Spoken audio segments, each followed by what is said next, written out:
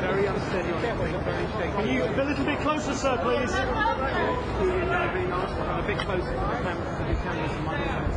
Look up what he and Sean Hodgson have to say. How do you feel, Mr. Hodgson? How do you feel today, sir? Ecstatic. Let's see what he has to say. I breathe through this.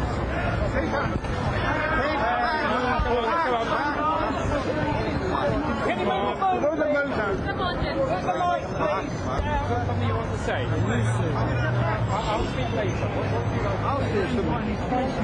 Can you down? I'll put that point. Sorry. On behalf of my brother, I would like to thank the solicitor a million, million thanks. And what I would like to say, I've had a dream for 27 years. I know it's a hell of a long time, but it's finally come true. Sean Hodgson's brother, we believe. That is Yes. There. Sean, how do you feel? Holding his brother. Ecstatic, said Sean Hodgson. That is What does it feel like, Sean? Great to be free again. Did you ever think this day would come? No. But he had a dream. Can you ring the phone?